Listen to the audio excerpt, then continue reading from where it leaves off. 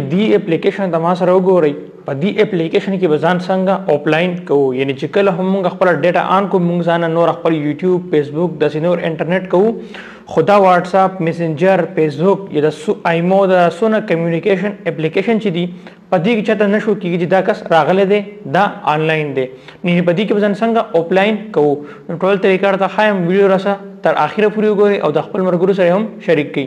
اوس دلته کې سکرین ریکارډینګ ان کوم تاسو ما سره اوس دی سکرین ریکارډینګ ته ګوري او دا ټول طریقه تاسو په سکرین ریکارډینګ باندې خایم ټول پیله موږ سکو اوس غواړم دلته کې ما سره دا کم واتس اپ دی را سره دا ګوري میسنجر دی را سره ایمو ځنی یوز کوم نو چې په دې دوه کې ځان آفلاین کم زه خپل انټرنیټ دا سکو ما ډیټا می ان هم وي خو دغلت نه ماته کال کیږي نه اس ام اس کیږي او چې څوک هم کوي هغه دا شو کیږي دا پیلل او پلاین دی مطلب انټرنیټ د دې سره بند دی دا ټیم نو څنګه وکوم د لپاره تاسو به راشئ دلته کې وګورئ په هر یو موبایل کې اوس دا خپل د سیستم راځي خو صرف موږ نه یوز کو دلته کې د اپلیکیشن ته وګورئ دا زموږ سره راځي په دې موبایل کې پریزر دا نوم دی نو دا دی نامه د دې اپلیکیشن پریزر دا په هر موبایل کې خو دا په دې کې نه په دې اپلیکیشن کې دا داسې نه وي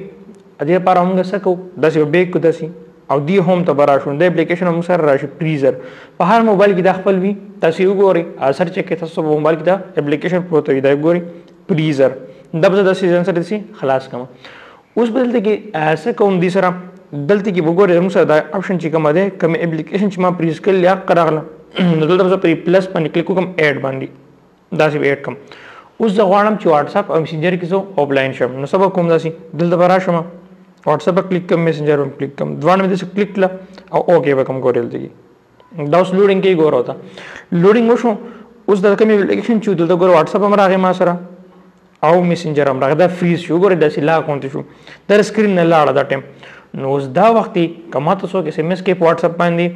په میسنجر باندې کې زه به آفلاین هغو ته اخکارم نو اوس ګورې زه دلته کې په خپل راغلی یم ګور دلته کې واتساپ ته راځم د زما دویم واتساپ دی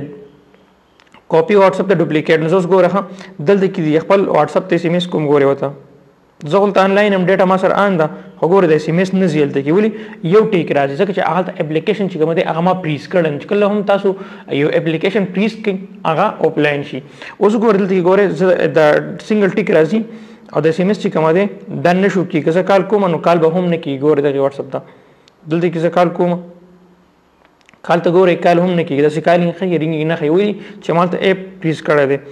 اوس ګوره زه واپس داسې کوم چې دلته راځم اوس غواړم چې دا واتس اپ ته مسنجر د نارمل حالت ته واپس راولم واپس زوړ حالت ته راشي زه به تاسو کلیک کوم دلته به راشم د واتس اپ به تاسو کلیک کوم بیا به کلیک کوم دا مې کلیک کو داسې بیا به اوکې کوم دا اوس ان فریز شي دا فریز نه مدا اوس اوزي دا واپس به بیرته زه آنلاین شوم اوس ګوره داسې مسنجر هم دي چې نه بیرته راشم او هغه هم دې ځنه داسي او واپس بیرته خلاص کوم داسي او اوکې وکم اوس ګوري اوس زه واپس راځم ګوري خاطر کې نمبر ته اوس واتس اپ ته وګوري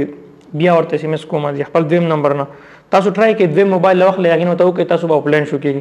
اوس ګوري اوس ځرګي ګور انلاین شو درې نوټیفیکیشن ماته بر راغلی نو وس بیرته آنلاین شوم چې کله می انفریز کو نو کله هم چې تاسو غواړئ چې موږ ځان سره دغه سی په واتس اپ کې چې کوم دی په میسنجر کې چې کوم دی آفلاین شو یار موږ څوک نه تنګ موږ گیم کو یا د نور اکټیویټي موږ ځان خپل کو او موږ غواړو چې یار موږ سره څوک داسې موږ څوک نه تنګ وي څوک کسی میسنج نه کوي فزول څوک کالونه موږ نه کوي دا شان موږ ریلیکس خپل کار خپل ورک په بل باندې کو دغه طریقه تاسو به اپلای کوئ په دغه پلیزر اپلیکیشن کې د خپل اپلیکیشن چې کوم د واتس اپ میسنجر وی ایمو دغه پیس کوي نو به چې کله تاسو غواړئ واپس آفلاین ځان آنلاین کوم نو واپس نارمل حالت ته بوزي نو ویډیو مم خوښي ویډیو را سره لایک کړئ د خپل مرګرو سره هم شریک کړئ ان شاء الله ملاقات پکې بل نه ویډیو کې د لوی الله فمان